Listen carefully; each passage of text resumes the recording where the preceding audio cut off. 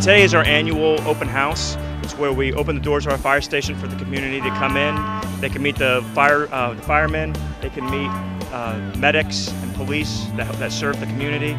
They can interact with them and get to see some of the, the, the jobs that they, they perform. The theme for this year's Fire Prevention Week is two ways out.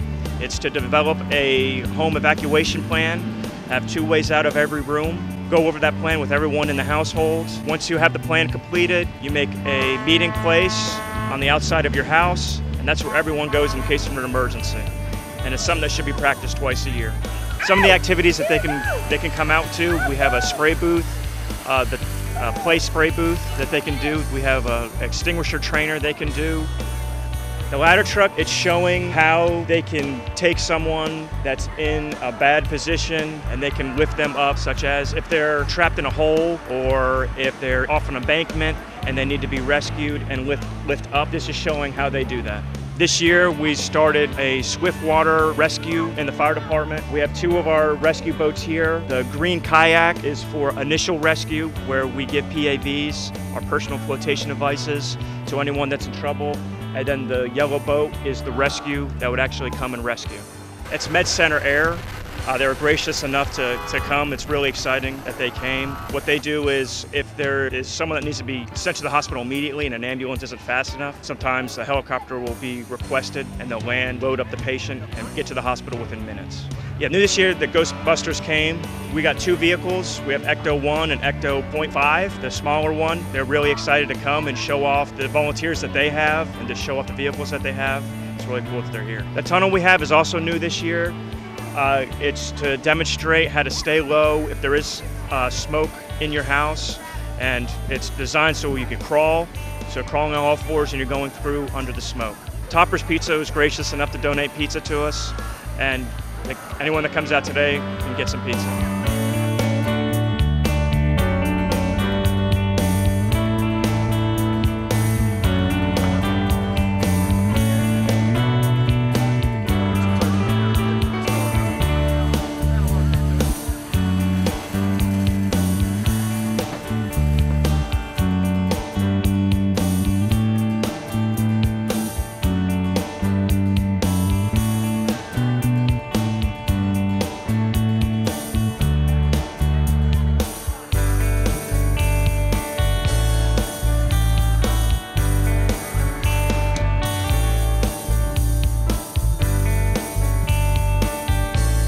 This is a simulation that a car is on its side. We see that we already have it stabilized by using these struts. The orange strut at the front, the red, white, blue strut at the rear. And this crew is gonna take the windshield out, all the glass out, and we're gonna flap the roof.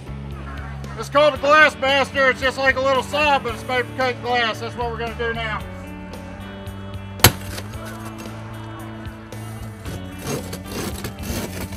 You see why the firefighters have to wear all their safety gear? Because all look at those little pieces of glass coming off.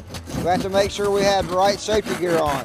Our plan as a fire department or a rescue team on the scene is to make access to the patient, begin care, and then remove them from the vehicle.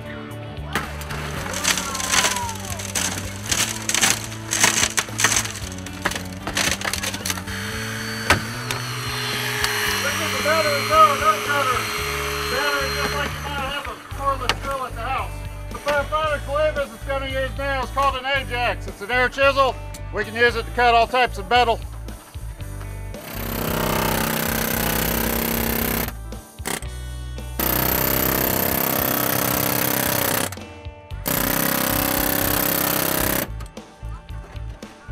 reason why I do this is if a car came arrested against a couple big trees or something like that, and we weren't able to get the body or the uh, frame out of the way, we might just cut a hole in the roof.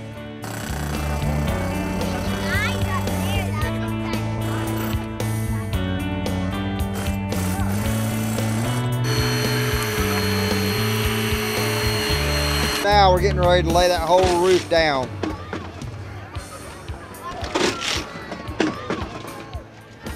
People should come out to this event. They can meet the first responders that are coming if, in case there's an emergency and they call 911. These are the people that are coming. They can interact with them. They can talk with them. they could see the jobs that they do and see that they're part of the community.